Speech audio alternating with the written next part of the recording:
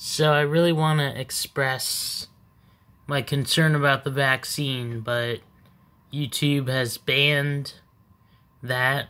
Um, I I just I want to do it. I want it. I want to express myself. But in other news, winter is coming, and it's gonna be a long, harsh winter. Is that a dent in my?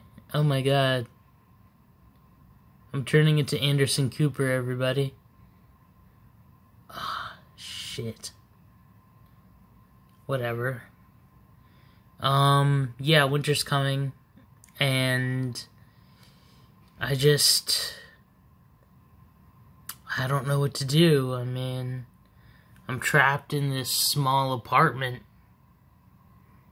and, uh. I might be trapped in here for winter because it's gonna be so intense that I could I could be snowed in. So um you know, I just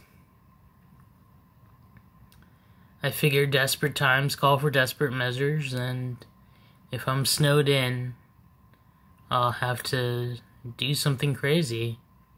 So that's my video. It's just like a little update on my life.